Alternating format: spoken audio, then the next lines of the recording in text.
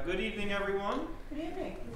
and welcome to the next edition of our guest speaker series here at the Holland Land Office Museum. I want to thank you all for coming out on this wonderful evening. It's nice and warm in here, so we'll stay nice and dry. Uh, so uh, our speaker tonight is Ken Slaughenhapt. I had to ask, you know, how to pronounce the name, so I didn't butcher it. So, uh, but he is going to be talking about something very familiar here with this building, the Holland Survey, and so we're going to uh, get another sense of some of the history connected directly with our building here and the people that operated here. Uh, so, Ken, feel free. Thanks, Mike. Uh, good evening, everybody. Uh, it is a little disconcerting to be in the Holland Land Survey office to talk about the Holland Land Survey. kind of feel like uh, might be a prophet in, my, in the wrong community. However, I am a licensed land surveyor, and uh, I want to give you a little bit of background to understand why this is of interest to me. Is I decided to be a land surveyor when I was 11 years old. It was a rash, um, juvenile, silly decision, but it has served me well so far. Um, I was an only child. Uh, late 1950s, they get ready to build the Niagara Power Project. I lived on a house right on the banks of the Niagara River. And I was walking down the riverbank one day and found three guys, this funny looking tripod, and asked them what they were doing. And long story short is I just made a pain in the neck of myself to these people. I spent the entire summer following them around and showing them where the paths were in the playground of my youth. and as a result, I made this silly decision that here are three grown men making a living in my playground. I'm going to be a surveyor. And uh, it was funny because um, when I got ready to graduate from Newport in June of 1964, a guy walked into an office in Niagara Falls to get some papers notarized, and the notary happened to be my aunt. She signed her name, and he says, "No, Slogan, you know Kenny?" He says, "Yeah, he's my nephew." He says, "You wouldn't believe it. He spent an entire summer with my survey crew." so the guy who had been the party chief of that survey crew was now running the survey business. Long story short, I got a phone call the Monday after I graduated from Newport. I went to work for him, and uh, I guess the rest is just history.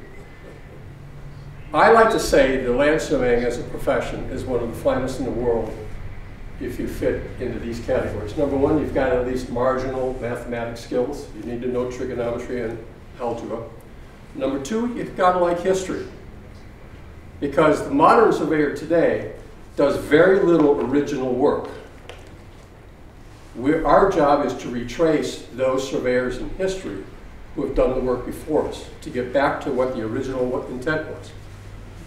And you should also like to solve puzzles. And I love to do all those things.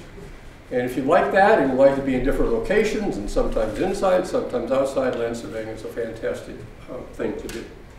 Today we're going to talk about land surveying um, that I'm a little bit jealous about because it's land surveying of a blank canvas. Western New York, from the Genesee River to the Niagara River, in the period of time that the Holland Land Survey was done, was wilderness. It was the wild, wild west in many, many ways. And so we're going to take a look today as to how that came to be. But before we do, if I can get this thing to work. There you go.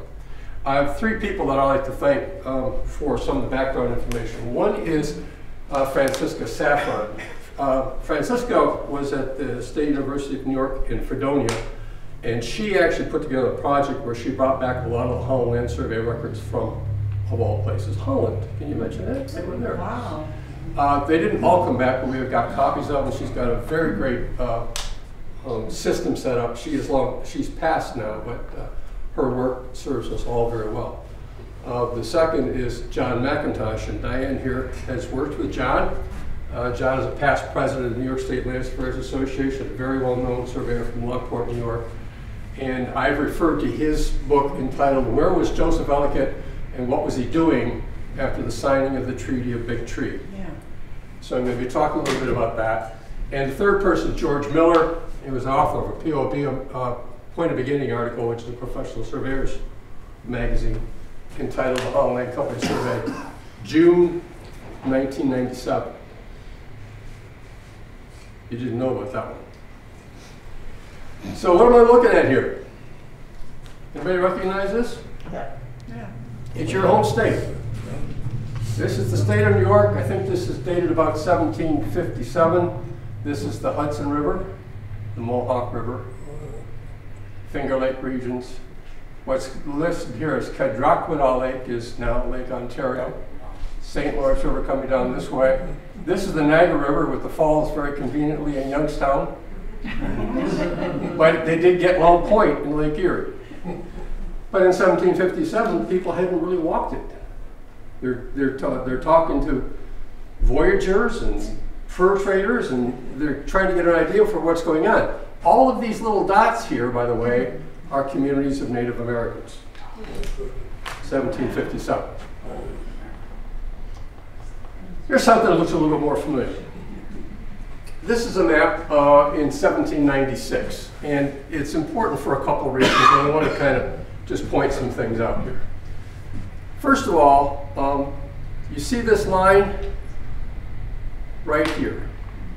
This is the first map that had the proposed boundary between the United States of America and British territories appended.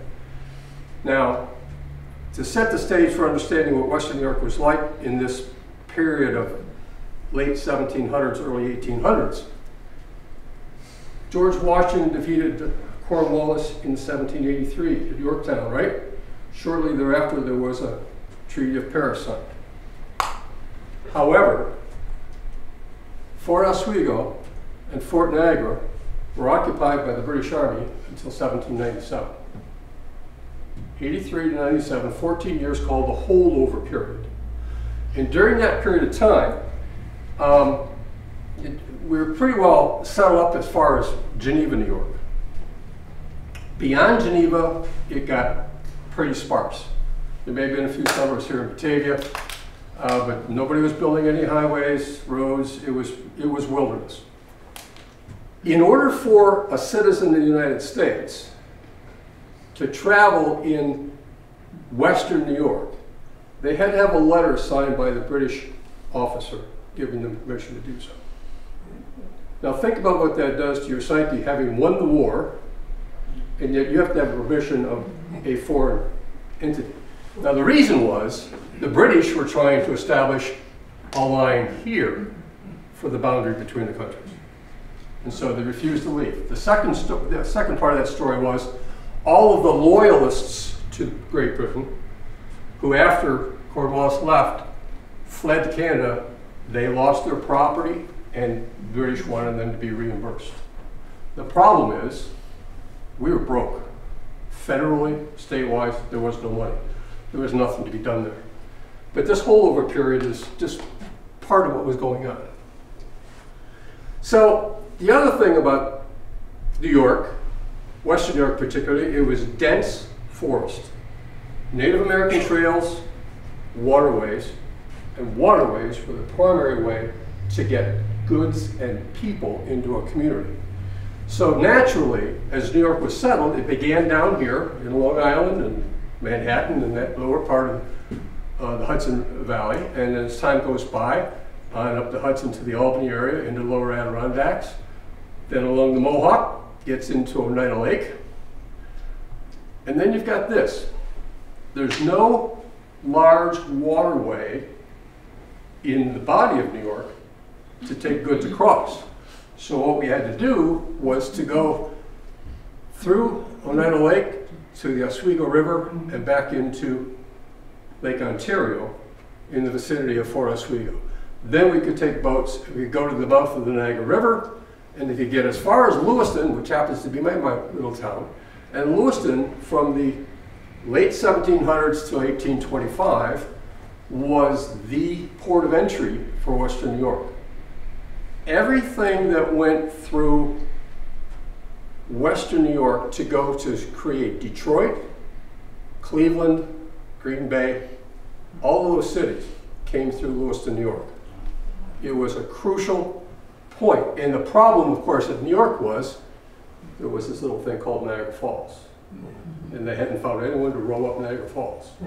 So we had the portage around Niagara Falls, and it was a very, very important, um, I mean, the Native Americans fought over it, then the French came in, the British, and the Americans ultimately. A lot of people died to control what was going on around Niagara Falls. But anyway, once they got the goods by boat to Lewiston, they could come back in from the west to the east a little bit. Now, here's a thing called the preemption line. It goes down through the Finger Lakes. In order to get to the point where we can survey this wilderness, there's certain legal issues have to be resolved. And one of them was caused by the kings of England. In 1620, King James I granted to the Plymouth Company, now that's Boston, Massachusetts, the Plymouth colony, a tract called New England, which extended west to the Pacific Ocean. James didn't know what that meant, but that's what he did. And then later in 1691, they limited the north and south limits by latitudes. Then, 43 years later, King Charles I, not Charles III, granted to the Duke of York, from New York City, and Albany, the province of New York extending northward to Canada, bounded east by a line 20 miles east of the Hudson River, but no westerly limit mentioned. What this means is the Plymouth colony has a right to own Western New York, and New York has a right to own the Western New York. And so this problem had to be resolved. So it was resolved in kind of an interesting way. In uh, the Land Ordinance Act, I think it's in 1785, was passed. And this defined the process of surveying public lands going forward. The colonies, the 13 colonies, were, when they were broken up, people came in and took their land with doing tomahawk claims. They go up to a tree and they put a mark on it. They, they just go around a piece of land with tomahawk markings, and that would become their property. And over the years, it became settled and they got deeds and so on and so forth. But that's what's known as kind of a metes and bounds. It's kind of an unusual, irregular way to survey lands. In 1785 or 87, the Land Ordinance Act, designed by Thomas Jefferson, created a way of surveying using due north-south lines and subdivided by due east-west lines. The Holland Land Survey was the first practical demonstration of that system, and every other state has now followed that with prime meridians and systems of this way. So the Holland Land Survey uh, deserves a pat on the back for going in and taking on uh, a new system and making it work. And Joseph Ellicott did a great job with that. Um, now, let's talk about the six million acres of land that was essentially left in western New York at the end of the Revolution. Um, the, land, the, the settlement of the preemption question was resolved in Connecticut when they gave Massachusetts the right to sell the land. But once the land was sold, it came under the jurisdiction of the state of New York. Does that make sense? Yeah. So Massachusetts is the entity that begins selling land, and they sold it in one great big chunk, about six million acres, to Nathaniel Gorham and Oliver Phelps. They were supposed to make regular annual payments and in 1790, they were unable to do that, and they had to release two thirds of that, or about 4 million acres, back to Massachusetts. So that means that of that 6 million acres, the easterly 2 million acres was what we call the Phelps and Gorham Purchase. 1791, a fellow by the name of Robert Morris, which was a very interesting guy. He was a land speculator, had been all his life. He was very wealthy when the um, revolution broke out. He was known as the financier of the American Revolution.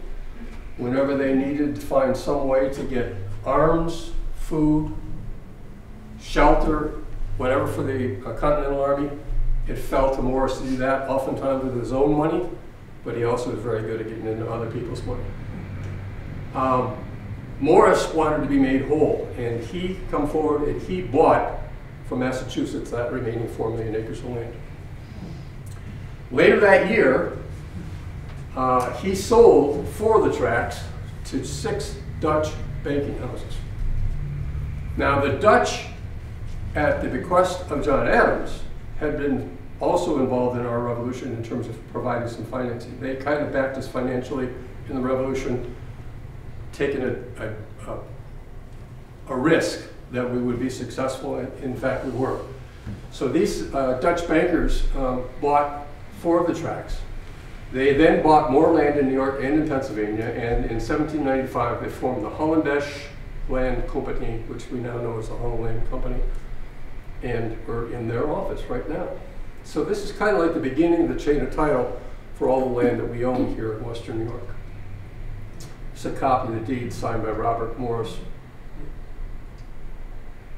Now, another problem had to be solved. That very first map I showed you with all those little dots, Native Americans all over the state of New York.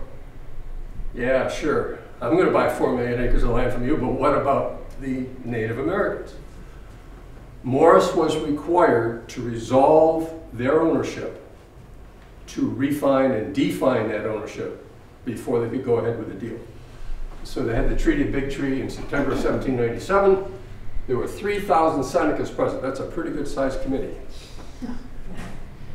Big committees like that don't work. It was in Geneva.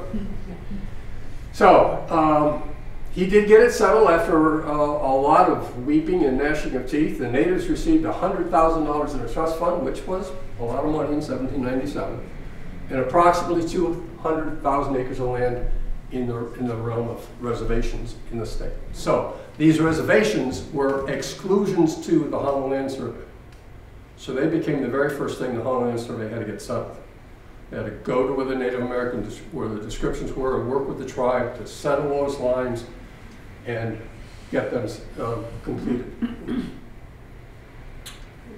This is a rough sketch where they're showing some of the reservation lines that they were proposed. And it took some time to get it done, but they ultimately did do it.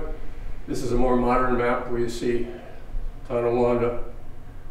Um, that's Buffalo Creek, I think, Cattaraugus, Salamanca.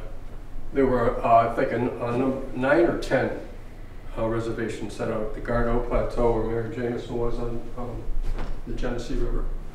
So that was a job unto itself where they had to get those lines in. And the guy who was chosen was Joseph Ellicott. Now, I know that you know an awful lot about this guy. Um, he was chosen lead surveyor. He brought his brothers Andrew and Benjamin in.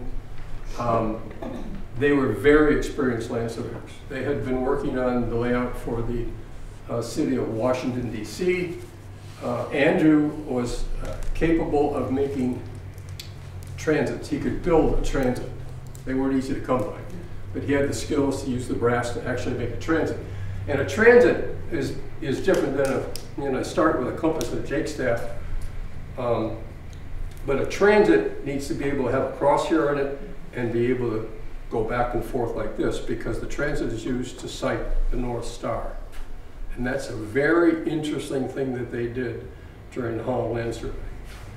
Sighting the North Star is um, well, if you were to do it today, and nobody ever does it now because of GPS, but I actually did do that in my career down in Jamestown on a hilltop, January clear night, because you guys have clear night, probably minus 15 degrees. Mm-hmm. It's not a lot of fun. Um, and, and, the North Star, of course, is this, the one star that is closest to the line formed between the North Pole and the South Pole, the axis of rotation for the Earth. But if you look at it in a transit with crosshairs, it's moving. It's constantly making a circle. It's a small circle, but it's making a circle. So if you were to make a Polaris observation today, it's, it's a process where you've got to follow it with the crosshairs. You have an extremely high precision clock used by the U.S. Naval Observatory. And what you do is you, the instrument operator does a countdown, he watches the star, three, two, one, mark when it hits the crosshair, you record the time, and then reverse the instrument, you do this like eight or 16 times because it's always got some error. They didn't have a chronometer in 1797 to do that, but they did observe the North Star, and that's a very important part of what they did. So anyway, they had a lot of experience. So right after the Treaty of Big Tree was done, uh, Ellicott began his work. And the first order of business was to define the outer limits of what was there. It's fine to say, well, it's Lake Ontario, the Niagara River, Lake Erie, Pennsylvania, but no one had ever measured the actual location of the shore of Lake Ontario. So that was one of the things they had to do. Um, traversing the mapping the coast of Lake Ontario, the east bank of Niagara was completed on November 8th of that year. This is the Phelps Gorham purchase. And this had been occupied prior to the Holland Land Survey. So what that means is this line here pretty much was a division line. It had to be negotiated, but they were beginning up here at a point on Lake Ontario, and then they're going to come out along the lake. Now, these are actual excerpts from his field notes dated October 3rd of 1797. Traverse of a part of the country called West Geneseo. So Western New York was known as the Genesee Country, West Geneseo, Holland Land Survey, Wilderness, you name it, had a lot of different names, but he's calling it West Geneseo. Commencing at the northwest corner of Messrs. Gorham and Phelps Purchase, a chestnut post standing on the beach of Lake Ontario, which is open marsh of about 40 or 50 yards wide, a post postmark GP on the east and 28 three quarter mile on the south. Um, he had to meet with Major, I can't think of his first name, but it was Hoops. Major Hoops was the surveyor for uh, Phelps and Gorham. And he took them to the post and they came to an agreement as where the point of beginning for the survey was going to be. And this is where the property is and that's where the post was found right there. And what they're going to do now, it's hard to see this, but they're going to go from there and they're going to take a survey all the way along Lake Ontario, the Niagara River, and Lake Erie to Mm. Pennsylvania. It's a big job. Big job. So, um, a couple of things to point out here. Number one, that was the point of beginning. But this line, you know this, this little north-south line, this border between New York, and Pennsylvania? Did you understand that that is defined as being a line due south of the most westerly tip of Lake Ontario? Oh, oh my gosh. That's how it was decided. Oh. So. Joseph and his crews had to go into Canada over to Hamilton and locate that point to establish a latitude on it, so that when they got down here, they knew where that line was supposed to be. Wow. Big job. Now, we're picking up the notes uh, from where we left. Now, what he does is, um, he's starting at this post, he occupies this post, and he's using a compass and a chain. A chain is a measurement 66. Anybody not know what chains are? You probably don't. Little aside, all units of measurement in, in the English system come from the human body. You got an inch, got a span, you got a yard, this is the king's nose to the king's hand. Um, and of course, a foot. Um, there's an interesting surveying manual written in 1535 that instructs a surveyor how to get the proper length of a rod, which was called a rood back then. And he said, what you do is you go down to the church on Sunday morning, you take the first 16 men that come out of church, and you take their left feet and you put them together heel to toe. You put the rod at the heel of one and you cut it off at the toe of the other, and that's going to be a true measurement. The theory being the average is 16 feet, pretty gets, gets pretty close to being a standard. Uh, long story short, that became 16 and a half feet. And so if you ever see a road called Two Rod Road, Three Rod Road, Yeah. okay, so if it's a two rod road, it's two poles are 33 feet wide. Three rod is 49 and a half. Four rods is a chain that's 66 feet. So a guy named Gunter made the chain, which was 66 feet, and they were quite literally pieces of wire, 0.67 feet long, made digitally, so it's 100, it's 100 links in it. So when you read an old deed, it says it's 17 chains, 33 links, That's a decimal equivalent, so you can take 17.33 times 66 and come up with the number of feet in it. Okay? Diane's nodding, she's done that before. Yeah, not exactly, but. Yeah. Yeah, uh-huh. So anyway, I want you to understand, so what they're doing is they occupy the first post, You lost me somewhere. they put, as far out as they can, they put another post in the ground, they take a magnetic bearing to it. And then they measure the distance to it in chains. Then they occupy that point, take another magnetic bearing, go, and they do that all the way along the survey, okay? Now, as you're going along the survey, he's making notes about what the land is like. So he's saying when he leaves there, he's got a bank four or five feet high and the termination of the marsh. A small marsh back on the beach on the mouth of a small creek at 3.5. That means from his last traverse point, 3.5 chains, he's finding a small creek coming in there, and he says the marsh ends with the course of the bank being four to five feet high. Then he's in the open marsh, and then he says to the mouth of a large creek, of a creek large enough to turn an overshot mill, enters a lake at 2.5. That'd be from another traverse point. But what these crews are trained to do while they're doing the survey is they're recording what kind of trees are there, what's the soil like, what are the advantages of the land, so that the Holland Land Company can decide what's a fair price to get for, you know, this is a good piece, this is rocky and hilly, we can't really do anything with it. So this is collecting information about the wilderness that people didn't have before. Now I like this one. To the mouth of the creek large enough to turn the overshot mill enters lake at 2.50. Land in the creek for half a mile is marshy and no timber. Encamped at this place, about 9 at night, there came on a violent thunderstorm from the southeast with hard wind and rain, probably like tonight. Blew down our tents. The wind about 12 shifted to the north and blew a gale. Storms of rain continued all night. The sea ran so high that all hands were obliged to turn out to the boat and of course suffered both cold and wet. October 4th lay by all this day, the wind too high to settle the needle. That means the magnetic compass wouldn't settle down so we could take a reading. Mm-hmm.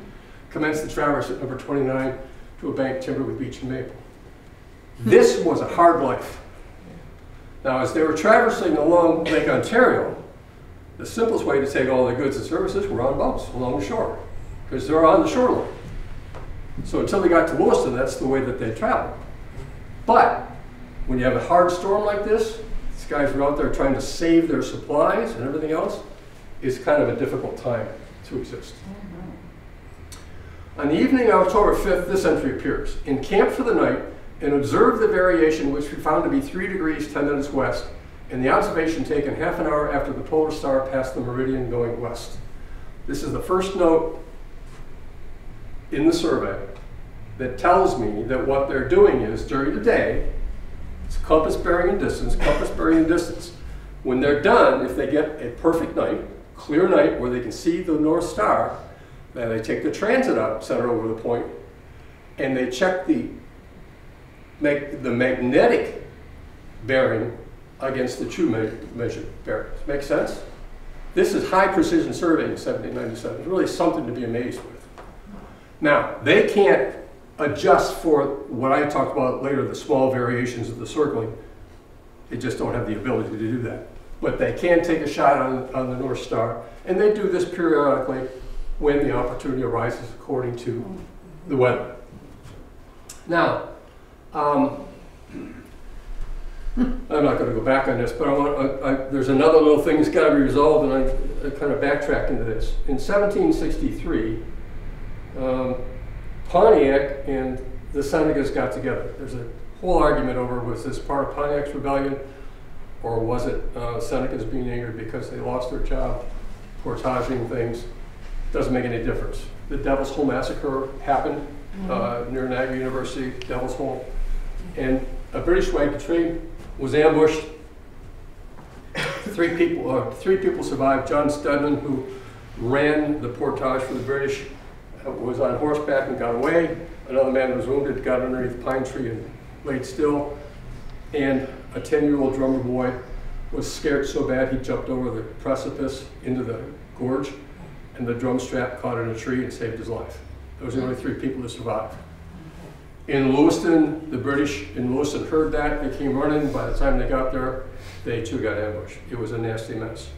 So in 1763 that happened. In 1768, Sir William Johnson who was the guy who did all of the Indian um, business for the British in New York State and beyond, actually, uh, took retribution on them and made them give up all right title and interest to land two miles wide on both sides of the Niagara River.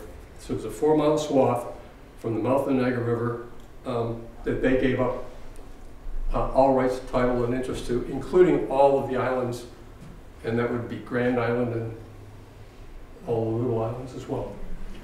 So as a result of the outcome of the revolution, then the state took title to this on the American side, on the on the U.S. side, and it was resolved down to a one mile uh, wide swath instead of two miles. And so this New York State Mile Reserve was excluded from the Holland Land Survey. So the western limit of the Holland Land Survey is not the bank of the Niagara River. It's a line parallel to it one mile inland, which is roughly where the Niagara Scenic Parkway goes down through. So that had to be resolved too, just like the Indian reservations. Um, so in 1798, Seth Pease, surveyor, actually went along the top of the bank, calculated a line a mile in, and then laid out the mile reserve. This is a copy of his field book. That's his name, Seth Pease there, the date 1798. This is a copy of his field notes, the eastern boundary of the New York Reservation on the east side of Niagara River, and the way his notes looked. And um, again, these notes, these are from point to point. There's a bearing and a distance. And then at each point, he takes bearings and distances to big trees and landmarks that make sense. And then I'm fascinated by this. This is hand written in the back of every field book that they had. And this is printed in the field book of every land surveyor's office that you'll see today. It's the same collection of formulas and solutions for mathematical problems, and they were doing it back in 1797. They had all those solutions in there. These guys were pretty sharp. So it was a very serious undertaking, and every contingency had to be considered. Uh, Ellicott in 1797 ordered meat. The pork shall be of merchantable quality, well put up and salted in good, clean, tight, substantial barrels containing 200 neat weight each. There shall not be in each barrel more than three shoulders without legs and two heads without ears and snouts. So here's a guy undertaking to survey 4 million acres of wilderness, and he's also dealing with getting his survey crew, when they were doing the interior work on this, 150 people. And I guess I can get away with saying this, they were all men, 150 men. Uh, he had people that did a little bit of everything. He had um, probably well over 100 axemen because once they started the straight lines, they cut down all the trees. Cut a straight line on the western transit meridian, starting the Pennsylvania border, due north 88 miles. They cut 66 foot wide swath all the way so they could see and it would be sort of monument. So anyway, the food was budgeted for $5,160 and camp supplies was 700 or 7,336, including $250 for wine, spirit, and medicine, and that means they're surveyors. The, of the 150 men, there were two transit engineers, at least 10 deputy surveyors, axemen, boatmen, store managers, cooks, messengers, and others. Joseph Ellicott made $8 a day. Uh, his brothers didn't make so much, and I think the men typically made about a buck. The Eastern Transit Meridian was started on June 14th of 1798. Benjamin, his brother, led that effort. He was the party chief, and he took an oath of office to a magistrate to perform his duty truly and faithfully. Now, this is important because Benjamin um, and Andrew and Joseph Ellicott were truly professional surveyors. So this is the east, this this is the, the the, the Holland Survey, and this is the Eastern Transit Meridian. The Eastern Transit Meridian is the one that was finally settled as being the division point between Phelps and Gorham and what the new lands were going to be. So they set a monument right here on the, the Pennsylvania-New York line, and they started due north until they got right there. And then they had to take a hitch to the west and go on. So here's another thing about land surveying. There is a law that says first in time wins. So there was an erroneous deed written in the Phelps and Gorham purchase that conveyed to another private party this piece of land that technically should have been part of the Holland Land Survey. But because he, it was a, it was a bona fide arm's length transaction, they had to offset their line to go around what was previously owned on the east side of the property. So they took a little hitch over there and then went up and, and put that in the ground. That's what I just explained. There is also a western transit meridian. So they put another monument down here and they do, they went due north and this western transit meridian I'm pretty familiar with. Uh, John McIntosh was too. This goes right up Transit Road through Lockport. It's centered on there. Um, but we've had, we had some fun with this in the late 1900s. Here's uh, the third page of the Meridian Road uh, notes for the Western Transit Meridian. And here you see it says Pennsylvania. This is the Pennsylvania line. Uh, this is Range 6, Town 1, Town 1, Range 7. And this is his line that he's going to start going now. Interestingly enough, north is to the bottom of the page in this scenario. Hmm. And then every 80 chains or one mile, they put a stone marker in the ground. Every mile for 88 miles, they did that. And here you see that they talk, you know, I mentioned to you before that as they do this, they're recording what this, the land looks like. These are hasher marks, they're showing slopes of the mountains. They're making comments about the trees, the nature of the, of the dirt and soil. And it says there's 80, there's a stone monument there, and there's a stone monument there. Every mile all the way up. Now, here's a, an interesting sketch. This is the Western Transit Meridian begins at a certain stone on the Pennsylvania line being east, six chains, 33 lengths from the 171 milestone of the said line and marked as follows on the east side Holland Land Company. This is a copy of the stone. Now, he had stonemasons with him. So they went to a job site, they'd find the proper stone, they'd trim it up, and they would chisel all of this information into the stone. This monument was set on the Pennsylvania line. So the Western Transit Meridian started in July 1st of 1799. Now, as 1999 approached, several members of the New York State Association of Professional Land Surveyors and the Niagara Frontier Regional, which is the Western New York Regional, took notice, and after you know, an after meeting conference normally happens in what we call a hospitality suite. You know, the day's done and you're not going to bed yet, so you go have a couple of soda pops and you start talking about things you should do. We decided we needed to go look at this. So we started an inventory of all the members' original monuments that had been recovered through the years, and uh, we began to search for others. Here we are tracing the prior survey. This is the work the modern surveyor does, is trace the prior work. So the original stone at the south end of Western Transit Meridian was unknown. A New York State Engineers Boundary Commission report in 17, or 1897, which is 100 years after it was set, indicated the stone was not recovered at the time. So it had been gone, it hadn't been seen in well over 100 years. In May 29th, 1993, we found it. And Steve Bodecker and Steve Malley, uh, both land surveyors who were with my firm at the time, and their children went out on a weekend and went searching for it. And there it is. Oh my gosh. It looks just like the sketch. Was it buried? It was not buried. It was, well, uh, let me use Steve's. This is this is a poster we made of that survey, and um, I'll read this to you. May 29th, the company Bodecker's two sons and Malley's two daughters hiked in the Allegany State Park along the boundary line between New York and Pennsylvania, playing hide and seek with a chunk of stone carved and set in the wilderness 194 years earlier.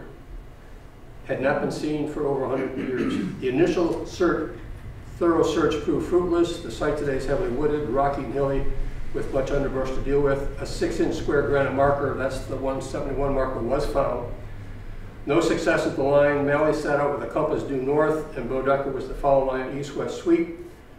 Steve was ahead with his daughter Katie and my two boys while I was crossing a run line with his daughter Kelly. As I jumped on a fallen log, I noticed a large stone underneath. Something told me to look closer. As I began to uncover it, I saw the inscriptions and knew we had found it. It was, it was buried in trees and brush. Um, this photograph Okay. is in situ. That's where it was found. 80 feet north of the state line.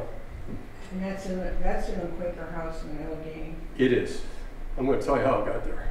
I don't know. Killed a lot of people. Almost. Um, but this is a six foot rule, gives you an idea of the dimension of it. It's a screwdriver. Um, I'll, I'll talk, I'll talk a little bit more about that. This is the poster that we did and, and tells the whole story. Essentially, once we found that, um, we were working with the state uh, Office of Parks and Historic Preservation, Allegany Parks people, and so on and so forth. Um, we came to the conclusion that someone had decided that that beautiful marker would look good in their cabin and had taken it and was trying to walk away with it. Got about 80 feet and decided, I can't do this. So we actually went there, we spent the day where the monument was lying, we took it out and we set a brass disc and we surveyed it in with GPS. And then we wrapped the monument in a heavy tarp and with about six guys on both sides of it, we carried it to an ATV and hauled it out, and then it got into the museum at Quaker. Actually, at first was on display at Red House, Right. and then we moved it to Quaker, and the Quaker Museum's never open anymore, so nobody ever gets to see it. It is still there, I saw it. I saw it last summer. Did you see it last time? I know it's still there, but the, the, oftentimes the door is locked. So, just give you an idea of what they did on the, uh, our survey, on the eastern transit meridian, the east side, we found original stones at one mile, 22 miles, 24 miles, 29 miles, and 30 miles. We found original stones in place. On the western transit meridian, we found the beginning stone disturbed and other stones at 6, 45, and 48. In April, we did GPS observations on all of these monuments. So GPS is using high precision technique satellite locations, not like what you've got in your car, but high precision stuff, to get the locations. And then we could use that location information today to compare to what the original surveyor said it was in terms of bearings and distances. And that's what we did. And I'll show you this in, uh, in more detail in a minute. But this is a sketch uh, that we made with the Eastern Transit Meridian and Western Transit Meridian. And um, I give you an idea. This is the Western Transit Meridian up here, the data. This is the origin to the six mile stone, the 45 mile stone, 48 mile. And um, we found the distance, which was supposed to be six miles, was 139 and 17 hundredths of a foot long. Uh, at 45 miles, it was 551 and 56 hundredths of a foot long. Um, we find a lot of fairly significant discrepancies. Now, it's fairly significant in terms of technology today. But when you think about the mountains in Allegany State Park and climbing over trees that cut down with axes and using a 66 foot long chain to measure distances, try to keep them horizontal, it really isn't bad work. The Eastern Transit Meridian was a little bit better, and I'll, I've got a, here's a better example right here. This is the Western Transit Meridian. Um, the six mile stone, the azimuth from the point of beginning was 359, 58, 39. So 360 would be due north, right? Which means that that stone is 12 and a half feet off of a true north side, a true north line from Pennsylvania. Wow, that's, It's, it's not bad, uh-huh. not bad. So at 45 miles, so 38 feet off west, and at 48, they were 34 feet west. So that's what we found on the Western Transit Meridian. The Eastern Transit Meridian, one mile, they were only four feet off. It was 3.2 feet west of the meridian. Now bear in mind, this is a meridian that we established using geodetic surveying GPS technology. They just sighted the north arrow when they could, or the, the north star when they could. At 22 miles, 86 feet short, but exactly north of the monument on the Pennsylvania line. Hmm. 24 is 64 feet short, or 61.5, a foot and, a foot point eight off. At 29, 17.8, and at 30, 18.4. Long story short, these mm. guys did a phenomenal job. A phenomenal job. We were, we were really quite impressed. Now, when we look at the excess footage between the miles and western transit meridian, we had a mismeasurement of one foot for every 480 that they went. So every time we went 480 feet, they had an error, a one foot error. On the eastern, it was one foot every 2,500. One inch and a half. No, not one inch. It's one foot. One foot. One foot I see one, 2,500. I see a one in, okay. Oh, it's one in, one Yeah, I foot know, in I know, 2,500. I know. So there's quite a difference. And you, you, we start to ask our question, why? Well, um, the Eastern Transit Meridian was performed under the direct supervision of Joseph Ellicott's brother Benjamin, assisted by Augustus Porter from the Porter Barton Company in Lewiston, a very experienced night surveyor. Benjamin took an oath of office to perform the duty truly and faithfully, and his notes state, formed by astronomical observations that began on the 11th day of July with all possible care and exactitude, planting monuments at stone at the end of every 80 chains. The line was the eastern boundary of the Holland Survey and was seriously approached because this was a property line. This was a boundary line. Somebody owned this, Phelps and Gorham owned this, HLC was going to own that. Okay? Contrary, the Western Transit Meridian Meridian was interior to the survey. Its sole purpose was to provide a guidance line for subdividing the lots in between. So it wasn't meant to be a property line when it was laid out. Um, it was done by Ebenezer Carey, a surveyor from Connecticut. And in his notes, he says, well, here we go again at the outset. his job was to carry the survey of the 65 milestone and hand it over. And much of his crew had worked on the Eastern fence of Meridian. They remember the swamps, the mosquitoes, the long days of cutting their way through uninhabited woods under threat of attack from hostile Indians. They called backbreaking work interrupted by scant sleep, poor food, sometimes water unfit to drink. These guys were not as motivated as the first crew.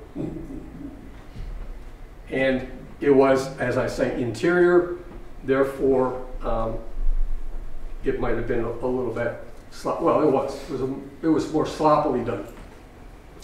This is the actual um, starting monument on the Eastern Transit Meridian, and that's the way it looks today. We use a magic marker to color in the, the language, but it's still there. Is that stone available for public viewing, or is it sealed off or not? No, no, you can go to it. The Surveyors will work to it, but it's, I've not been to this particular one. I've been to the Western Transit Meridian, but you could walk up to it. Yeah. You probably would need some maps and stuff to guide you. The survey was completed in October 1800. The total cost was 70921 and a half cents. They did 178 six-mile square townships fully laid out, and they collected the details of the surface on land, soils, lumber, creeks, rivers, mill seats. And then they opened up an office, and that's where we happen to be today. Hmm. Joseph Ellicott was appointed the resident agent. No one knew the land better than Joseph Ellicott. He'd walked over it all. He'd seen it. In 1821, unfortunately, resigned from his position, and in his closing years, he had some mental health issues, and uh, it was a sad story. Now, here's some random images just to show you. This is uh, beginning our work in 1997. Uh, these are two Western Air surveyors. That's George Miller, who I thanked early on. This is Jim Delaplante. Um, this is in the New York State Archives, looking at the actual records of a Holland Survey. This was, uh, we had a family weekend. Uh, we went out there and recovered these things. Uh, kids were having a good time. This is the actual site where we found the Western Transit Meridian. We did a day-long presentation at uh, Red House at the administration building. We uh, invited uh, historical associations and other surveyors and realtors and attorneys. And we had modern equipment, we had old equipment, and we showed, demonstrated a chain versus a steel tape versus GPS or EDM measurements. We had a really good day doing that. This is the actual observation. Uh, That's Steve Bodecker, he's the guy that found the monument. This is a GPS system over the location of that. The guys, you know, it's a state job, there's four guys talking, one guy working. Nothing came flying at me. This, I believe, is Bob Schoenthal in McIntosh's office, processing the data. That's Bob there. And uh, that's Steve Mallon and Steve Bodecker, and there you see the monument when we had gotten it back to the, that was a big day. And then there's the picture of the original corner. Now, where is that? That is, She. you know, you can all see that now. But this is the eastern transit meridian. Yeah, That monument's at the south end of that line. The monument I'm showing right there. okay. The one we found was over here. Oh, all right. There's two different stones. This one was taken out, and we recovered it and marked it. This one is still in place. So the one that's in the center is the one that's right there. Yes, yep. And this is the crew, and this idiot with the tie on is me. I don't know why I was dressed up for the day, but I guess I was master of ceremonies or something. You're in charge. Yeah. I am the boss. and that's it. So that's my story about, um, you know, taking really a blank canvas, Western York, four million acres of wilderness, organizing it, uh, inventorying it, and getting it ready for sale. And uh, it was a big job, and uh, I'm really impressed by what they did. So, any questions? Yes. So, on the original survey, there were some errors here and there, which can now be corrected using GPS and modern technology. Cannot be corrected. Okay, so you, s- it stays with what it was per the survey. That's right. Okay. Yeah. In surveying, if you can find monuments, they by law are the original intent of the subdivision. You don't move them, just because if, if they say that these two stone monuments are due north of each other at exactly so many feet, and you find a different bearing and distance between them, those monuments hold. So if it were, if they were corners of a property, the monuments would hold. You would put the bearing and distance according to the record, and the bearing and distance according to the, what you measured. But you would hold the monuments as the property line.